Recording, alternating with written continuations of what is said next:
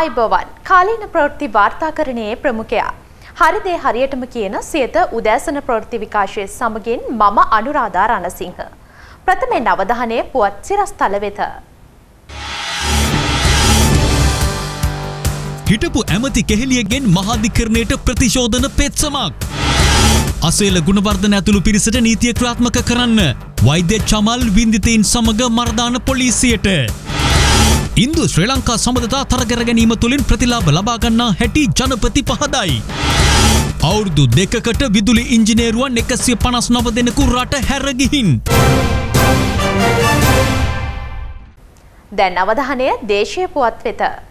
රක්ෂිත බන්ධනාගාර ගත කර සිටින හිටපු සෞඛ්‍ය අමාත්‍ය කෙහෙලිය රඹුක්වැල්ල ඇප ඉල්ලා කොළඹ මහාධිකරණය හමුවේ ප්‍රතිශෝධන පෙත්සමක් ගොනු කර තිබෙනවා. තමාගේ ඇප ප්‍රතික්ෂේප කරමින් මාලිගාකන්ද මහේස්ත්‍රාත්වරය දුන් තීන්දුව නීතියට පටහැනි බවයි හිටපු අමාත්‍යවරයා එම පෙත්සමෙන් සඳහන් කර ඇත්තේ. මේ අතර තත්ත්වයෙන් බාල ඖෂධ නැති බව පවසා ජනතාවට බොරු කිවූ සෞඛ්‍ය සේවා අධ්‍යක්ෂ ජනරාල්වරයා ඇතුළු පිරිසට වහාම නීතිය ක්‍රියාත්මක කරන ලෙස ඉල්ලමින් සිවිල් සංවිධාන ඊයේ මරදාන පොලිසියට පැමිණිල්ලක් ඉදිරිපත් කළා. ආන්තෝරනාත්මක හියමන් ඉමියුණොග්ලොබියුලින් ෞෂධ වංචාවට අදාළව නඩු විභාගය අවසන් වනතෙක් හිටපු සෞඛ්‍යමාත්‍යය කෙහෙලිය රඹුක් වැල්ල ඇතුළු පිටිසක් රක්ෂිත බන්ධනාගාර ගත කරන ලෙස මාලිකාකන්ද මහිස්ත්‍රාත් ලෝචනා අබේ වික්‍රම නියෝග කළා. කෙසේ වෙතත් තමන්ව ඇප මත මුදා හැරීමේ නියෝගයක් නිකුත් කරනමෙන් ඉල්ලා හිටපු අමාත්‍ය කෙහෙලිය රඹුක් වැල්ල සිය නීතිඥවරුන් මාර්ගෙන් කොළඹ මහාධිකරණය හමුවේ ප්‍රතිශෝධන පෙත්සමක් ඉදිරිපත් කර තිබෙනවා. එම ඇප අයිදුම් පද තුළින් ඔහු කියා සිටින්නේ පොදු තේපල පනත යටතේ රක්ෂිත බන්ධනාගාර ගතකර සිටින තමන්ගේ ඇප ඉල්ලීම ප්‍රතික්ෂේප කිරීමට මහිස්ත්‍රාත්වරිය දුන් තීන්දුව නීතියට පටහැනි බවයි. ඒ අනුව ඕනෑම කොන්දේසියක් මත ඇප මත මුදා හැරීමේ නියෝගයක් නිකුත් කන ලෙසයි ඔහු මහාධිකරණයෙන් ඉල්ලා සිටින්නේ. මෙ අතර පසුගිය කාලය පුරාවට ඖෂධ සංකූලතා මත රෝගී මරණ වාර්තාවීම ඇස් අන්දවීම් ඇතුළු ගැටටු රැසකට අපේ රටේ අහිංසක රෝගීන්ට මුහුණදීමට සිදුවුණා. ඒ බාල ඖෂධ නිසා බවටයි බොහෝ පාර්ශව චෝතනා කළේ. කෙසේ වෙතත් බාල ඖෂධ කිසි විටකත් රෝගීන්ට ලබා දෙන්නේ නැති බවත් බාලෞෂධ රටේ පමණක් නොව ලෝකයේම නැති බවත් සෞඛ්‍ය සේවා අධ්‍යක්ෂ ජනරාල්වරයා පසුකිය වසරේ ජූලි තිස් එක් වනදා මාධ්‍ය හමුවේ ප්‍රකාශ කලා. කිසිසේත්ම සෞඛ්‍ය දෙපාර්තමේන්තුවට මොනම හේතුවක් නිසාවත් අපි බාල බෙහෙත් කියලා જાතියක් ගේන්නේ නැහැ. බාල බෙහෙත් කියලා જાතියක් මම දන්න තරමින් ලෝකේ නිපදවන්නෙත් නැහැ. සෞඛ්‍ය සේවා අධ්‍යක්ෂ ජෙනරාල්වරයා මෙසේ ප්‍රකාශ කළද ඊයේ දිනේදී අධිකරණයේ හෙළි වූයේ පිළිකානාශක ඖෂධයක් වන රිටොක්සිමැප් ඖෂධය නිසි රසායනික ද්‍රව්‍ය නැති ද්‍රාවණයක් බවයි. ඒ අනුව තත්වෙන් බාල ඖෂධ නැති බව පවසමින් ජනතාවට බොරු කිව් සෞඛ්‍ය සේවා අධ්‍යක්ෂ ජෙනරාල් වෛද්‍යසේල ගුණවර්ධන ඇතුළු නිලධහරීන්ට වහාම නීතිය ක්‍රියාත්මක කරන ලෙස ඉල්ලමින් සිවිල් සංවිධාන ද මරදාන පොලිසියට පැමිණිල්ලක් ඉදිරිපත් කළා. පිළිකාවක් හොඳ වෙන බව විශ්වාස කරලා ඇල් වතුර විදලා ඒ රෝගීන් 1200ගේ ආයු කාලය අඩු වුණා නම් ඉමුනොග්ලොබින් ඖෂධ 3000ක් ලබා දීම නිසා ස්නායු රෝගීන්ගේ ළමා රෝගීන්ගේ කොළඹ ජාතික රෝහල් ඇතුළු විවිධ රෝහල් වල පුද්ගලයන්ගේ ඒ අදාළ රෝගී තත්ත්ව සුව නොවි බලාපොරොත්තු වුණට වඩා අඩු කාලයකදී ඔවුන් මිය ගියා නම් ඒක අනිවාර්යයෙන්ම අපරාධමය මනුෂ්‍ය ඝාතනයක් විදිහට අපි සලකනවා. දෙපාර්තමේන්තු ප්‍රධානියා විදියට වෛද්‍යවරයෙක් විදියට මේ තත්ත්වය දැනගෙන ඒ තත්ත්වය වසන් කරමින් මේ අපරාධමය මනුෂ්‍ය ඝාතනයට අනුබල දීපු වර්තමාන සෞඛ්‍ය සේවා අධ්‍යක්ෂ ජනරාල් අසේල ගුණවර්ධන පිරිස සම්බන්ධ විමර්ශන වාර්තා අධිකරණයට ඉදිරිපත් කළා විමර්ශනය කළා නීතිමය කෘත්‍යයක් විදියට මේ මනුෂ්‍ය ඝාතන චෝදනාව අධිකරණයට ගේන්න අවශ්‍ය කරන මූලික පැමිණිල්ල තමයි අපි අද ලබා දුන්නේ මේ අතර තත්වෙන් බාල ඖෂධ නැති බව පවසමින් ජනතාවට බොරු කිවූ සෞඛ්‍ය සේවා අධ්‍යක්ෂ ජනරාල්වරයා වහදූරෙන් ඉවත් කන ලෙස ඉල්ලමින් වෘති හා සිවිල් සංවිධාන ජනාධිපතිවරයාටද ලිපියක් යොමු කර තිබෙනවා. මේ අතර පසුගේ කාල සීමාව තුළ සෞඛ්‍ය අමාත්‍ය දුහරේ කටයුතු කළ සෞඛ්‍ය අමාත්‍යවරුන් හත් දෙනෙකුගේ වත්කම් බැරකම් පිළිබඳව පූර්ණ විකරණයක් සිදු කරන ලෙස ඉල්ලමින් අල්ලස දූෂණය නාස්තියට එරෙහි පුරවැසි බලය නීති විරෝධී මූල්‍ය වත්කම් අපරාධ කොට්ටාසයට පැමිණිල්ලක් ඉදිරිපත් කළා. ඒ පෞසි නිමල් සිරිපාල්ද සිල්වා රාජිත සේනාරත්න මෛත්‍රිපාල සිරිසේන පවිත්‍රා වන්‍යාරච්චි චන්න ජයසුමන කේලිය රමුක්වැල්ල කියන මීට පෙර හිටපු සෞඛ්‍ය අමාත්‍යවරුන් කෙසේ වැඩ කරාද මේ රටේ ජනතාවගේ බදුමුලා හොරා කෑවාද නැතිනම් සාධාරණව ඒ කටයුත්ත අමාත්‍යවරයෙක් අමාත්‍යවරියෙක් වශයෙන් ඉන්නකොට සිදු කරාද කියලා වහාම පරීක්ෂණයක් පවත්වලා විමර්ශනය කරන්න කියලා අපි අද අපරාධ පරීක්ෂණ දෙපාර්තමේන්තුවේ නීති විරෝධී මූල්‍යවත්කම් එකට ආවා.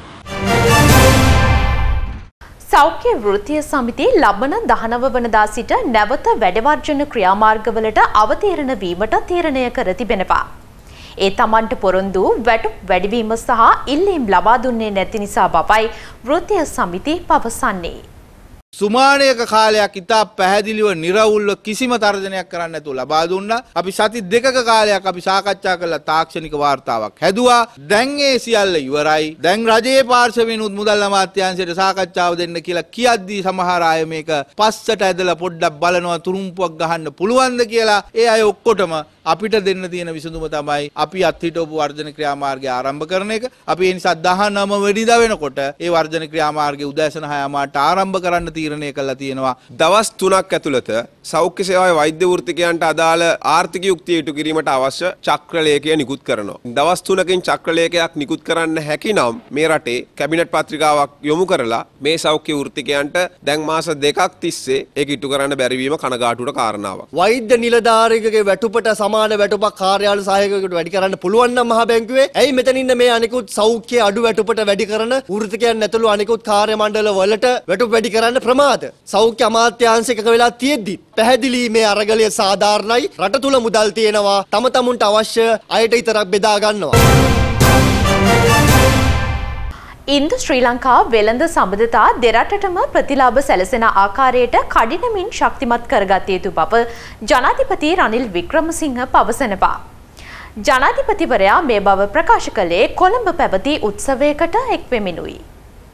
ශ්‍රී ලංකාවේ හැත්තෑ හය වන නිදහස් දිනය සහ ඉන්දියාවේ හැත්තෑ පස් වන ජනරාජ දිනය සැමරීම වෙනුවෙන් ශ්‍රී ලංකා ඉන්දයා සමාජය කොළඹදී විශේෂ සැමරුම් උත්සවයක් සංවිධානය කර තිබුණා. මෙහි ප්‍රධාන ආරාධිත අමුත්තන් ලෙස ජනාධිපති රනිල් වික්‍රමසිංහ සහ මහාචාර්ය මෛත්‍රී වික්‍රමසිංහ සහභාගී වූ අතර විශේෂ ආරාධිතයා ලෙස ශ්‍රී ලංකාවේ ඉන්දිය මහකොමසාරිස් සන්තෝෂ් ඩා එක් වුණා. And to me what is special on this 75th anniversary is now we are putting into effect the vision statement that I signed Prime Minister Modi. The trade and the economic relationship between Sri Lanka and India. I think it goes back even beyond the cultural stage. Long before we signed this agreement on Sri Lanka rupee and the Indian rupee, they have been at it using common currency. So now it's a question of how do you go forward? How does Sri Lanka use its regional location, the strategic location for trade, so that South India benefits from it? We are looking at now the development again of Trincomalee as a harbour,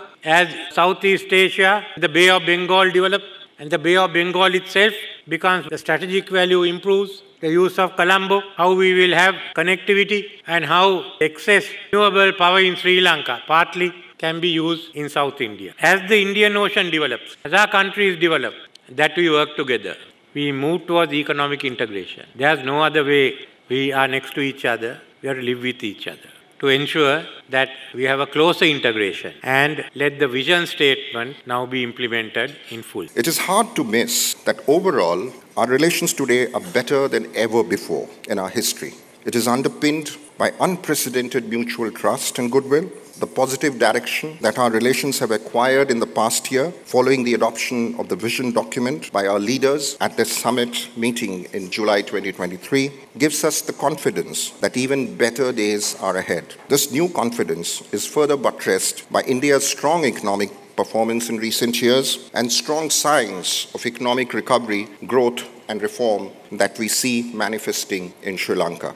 මේ අතර celebration of woman සහ භාවනාවක ශාන්තිය යන චිත්‍ර ප්‍රදර්ශන නැරඹීමට ජනාධිපතිවරයා ඊයේ පසරුවේ එක්වුණා. කොළඹ ලයිනල් වෙන්ට් කලාගාරයේ සංවිධානය කර තිබූ මෙම චිත්‍ර ප්‍රදර්ශනය ඉරෝමි විජයවර්ධන සහ වින්ස්ටන් සුළුදාගොඩ යන චිත්‍රශිල්පීන් දෙපලක් විසින් සංවිධානය කර තිබුණා.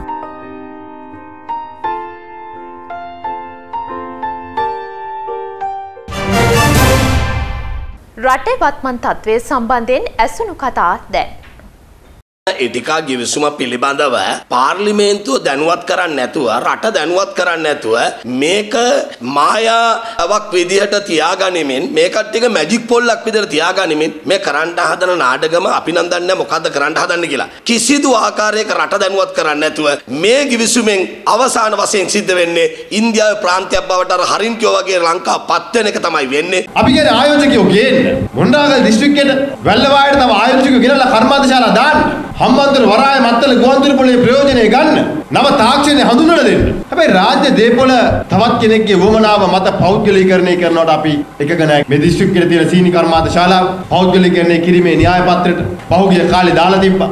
නැවත ගොඩබේ රාජපක්ෂ ආණ්ඩුව වෙනස් කෙරුවා. අපිට කතා බහකට ලක් වෙලා තියෙන නැවත වතාවක් ඒ පෞද්ගලීකරණය කිරීමේ න්‍යාය පත්‍රය ක්‍රියාත්මක කරන්න උත්සාහ කරනවා. මර්ධනකාරී පනත් සියල්ලක් ගෙන්න පොහොට්ටුව ආණ්ඩුවක් හැටියට කණ්ඩායමක් හැටියට එකතු වෙනවා. ඒ නිසා බැසිල්ට අපි කියන්නේ නිකන් තුට්ටු දෙකේ ගොබ්බ විහිළු කරලා මේ රටේ මිනිස්සු අන්දන්න හදන්න එපා. මේ රටේ මිනිස්සු නොමග යවන්න හදන්න එපා. ඒ නිසා තමුන්ගේ සිංගිති මොලේ ගැන මේ රටේ මිනිස්සුන්ට නැවත නැවත කියලා දෙන්න අවශ්‍ය නැහැ. අදානි අම්බානි කියලා කියන්නේ ඉන්දියාවේ ඉන්න ඊටාම අධම, ඊටාම තිරස්ත්‍රීන මූල්‍ය සමාගම් හිමියන්. ඒගොල්ලෝ මුළු ඉන්දියාවේම ගොවීන් එක පැත්තකින් විනාශයට අද දමමින් තිබෙනවා. පරිසරය විනාශ කරමින් තිබෙනවා.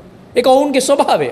නිසා අද ලංකාවටත් මේ අදානිලව ගෙන්නලා මේක අදානිලට දීලා අක්කර දහස් ගාණක් දීලා 10000ක් විතර දීලා මේ කරන්න යන විනාශයට එරෙහිව මේ රටේ ජනතාව සටන් කළේ. ටයි භාෂා පාසලක් වශයෙන් විශේෂයෙන්ම මම ඉන්දී අග්‍රාමාත්‍ය නරේන්ද්‍ර මෝදි මැතිතුමාගෙන් ඉල්ලීමක් කළා මට ජනාධිපති වෙලා මගේ පළවෙනි ඉන්දීය රාජ්‍ය සංචාරය කරපු සාකච්ඡාවේදී ඒ අනුව තමයි ප්‍රයිම් මිනිස්ටර් මෝදි මැතිතුමා මේ ගොඩනැගිල්ල තෑග්ගක් විදිහට අපිට දුන්නේ මේ මේ මේ වැඩි මේ වැඩි කියලා මේ ප්‍රධාන අනික් ඒවා හලා ඊළඟට ඒවා යන්න. මේකට ලාභ ලබන ආයතන පෞද්ගලිකාංශයට විකුණා දැමීමට හෝ අන්තත්තු කිරීමට කිසිදු ආකාරයේ අපේ අදහසක් නැහැ. දෙවැනි කාරණේ තමයි පාඩු ලබන රාජ්‍ය ආයතන විශේෂයෙන්ම භාණ්ඩාගාරයට බරක් වන දිගින් දිගටම භාණ්ඩාගාරයෙන් නඩත්තු වන ආයතන පිළිබඳව අපි දැඩි සැලකිල්ලක් දැක්විය යුතුව තිබෙනවා. අපි එදා මහින්ද චින්තන හැටියට ඔබතුමන්ලට ඉදිරිපත් කරපු ප්‍රතිපත්තියක් තියෙනවා. ඒක තමයි මේ රටේ ඒකීයභාවය අපි ආරක්ෂා කරනවා.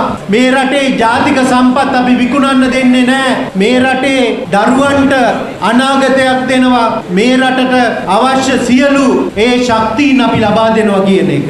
අද මේ දේ සිදු වෙනවද නැද්ද කියන එක අපිට ප්‍රශ්නයක්. IMF එක පවා ලංකාවට කියන්නේ මොකද්ද? දූෂණයෙන් තොරව කටයුතු කරන්න. නිවැරදි ටෙන්ඩර් පටිපාටියක් අනුගමනය කරන්න. යහපත් ආණ්ඩු කරන එක ලක්ෂණ පෙන්වන්න. ඒවත් කියන උපදෙස. නැත්තම් ඒගොල්ලෝ දන්නවා මොන තරම් ඩොලර් මිලියන ගණන් මාස 3-4 සැරයක් පොම්ප කරත් මේකේ වැඩි ප්‍රතිඵලයක් අත්පත් කරගන්න බෑ කියලා. අනෙවැනි අවස්ථාවකදී අපිට ඒ ලැබෙන අවස්ථාව අපි ප්‍රයෝජන ගන්න ඕනකම තියෙනවා රට ගොඩනැගීම සඳහා වන ආරම්භයක් ප්‍රවේශයක් ලබා ගන්න. එතනින් එහාට අපි ඔක්කොම එකතු වෙලා තමයි මේ රට ගොඩනගන්නේ. මේ ජාත්‍යන්තර මූල්‍ය අරමුදල පිළිබඳව සාකච්ඡාවක් ජනාධිපති රනිල් වික්‍රමසිංහ මැතිතුමාගේ ප්‍රධානත්වයෙන් පවත්වන්න ආරාධනා කරත් අපි ඊට සහභාගී වුණ නැත්තේ අපේ අදහස් ඍජුවම ජාත්‍යන්තර මූල්‍ය අරමුදලත් එක්ක සාකච්ඡා කරන්න බලාපොරොත්තු වුණා අපිට බ්‍රෝකර් කෙනෙක් අවශ්‍ය නැහැ පෙන්ෂන් යන්නේ මිනිස්සු පාර්ලිමේන්තුවට ගන්න එපා. ඒ පෙන්ෂන් යන්නේ වැඩ කරන්න බැරි නිසා ඒ මීට ඉහළ තැනකට තියපෙන් පස්සේ එන්නේ එන්නේ යකම රටක් පාලනය කරනවා. පෙන්ෂන් යනවා කියන්නේ වැඩ කරන්න බෑ කියන එකනේ. ඒත් සමගින් උදැසන ප්‍රවෘත්ති විකාශය නිමාවට පත්වනවා. යළිත් හමුවෙමු දහවල් ප්‍රවෘත්ති විකාශය සමගින්. ඔබට සුබ දවසක්.